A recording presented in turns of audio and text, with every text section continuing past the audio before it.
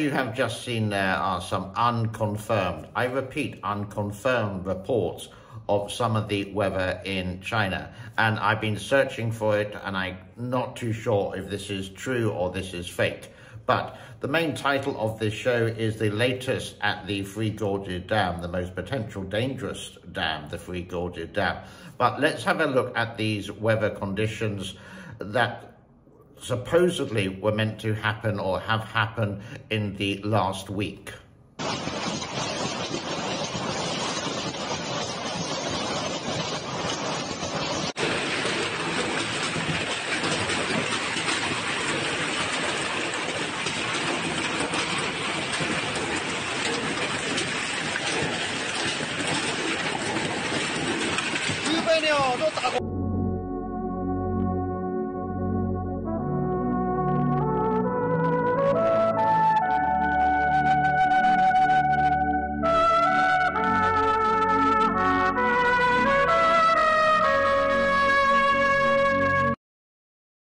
Am I showing this, even though it may be just like a complete load of baloney? This is kind of typical for the weather this time of year in China. It can just change like that. It's like Melbourne in Australia, where they can have four seasons near enough in one day.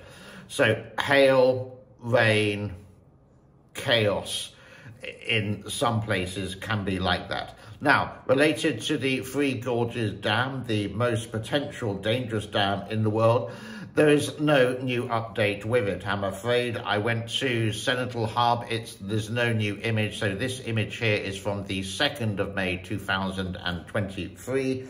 And with that, let's have a look at the weather for the next coming days. And you can see that it is more rain than usual compared to a weather map that I showed you, for example, in January of this year.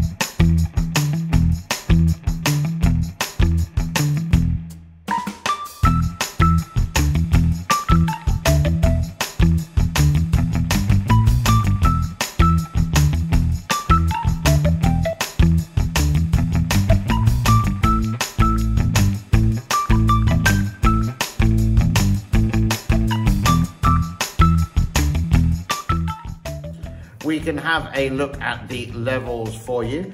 A slight change in the inflow and the outflow, but the levels have remained the same over the last 24 hour period, 157.19. But the inflow is at 8,500 and the outflow is 8,790.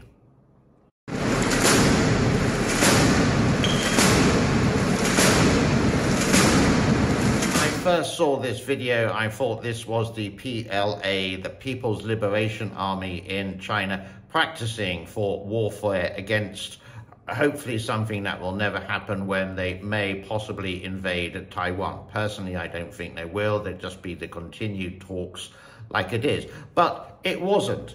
I looked a bit closer at this video and found out this is that pushing admissions into, into or explosions into the sky so it will hail or rain, um, which is actually common. I have actually seen this in Malaysia a long time ago when they wanted it to rain at four o'clock because it was just so hot and eventually it did rain. China is just using the same kind of theory and it does work.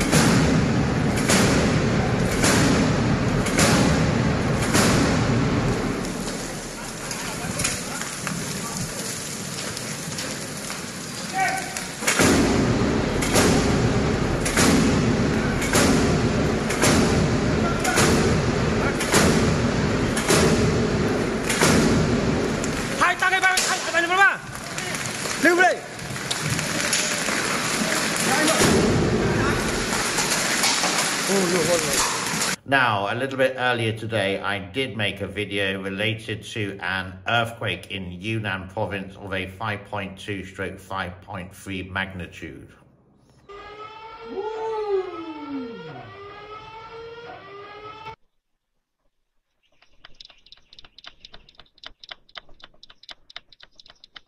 This is not fake news and it's taken me a couple of days to verify this because there's so much rubbish on YouTube that they just do it for clicks.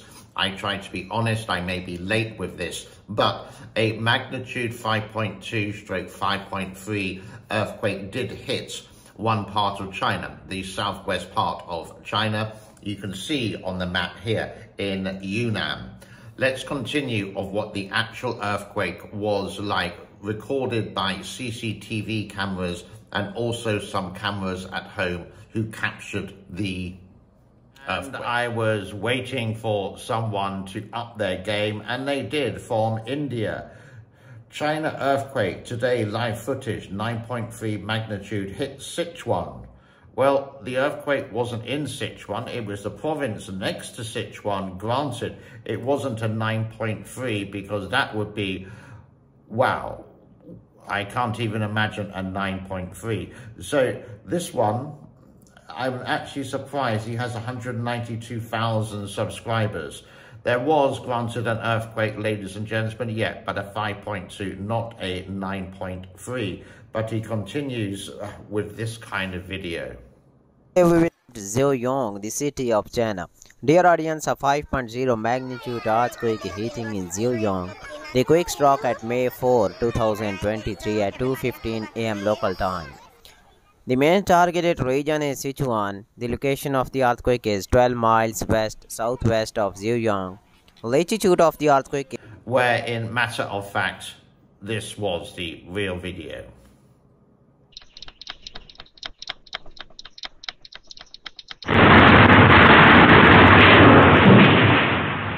Even Chinese state media has reported this. Update, 10 injuries reported as 5.2 magnitude earthquake hits strikes southwest China in Yunnan. Brings us to a close on Friday, the 5th of May, 2023. My name is James. This is the James N. Cooper Show. The messages at the end, please do give it a thumbs up, the like, the share, the comment, uh, hit the subscribe button if you haven't. It's about 50-50 at the moment. That 50% of my viewers are subscribers and 50% are new. If you are new, please do consider that.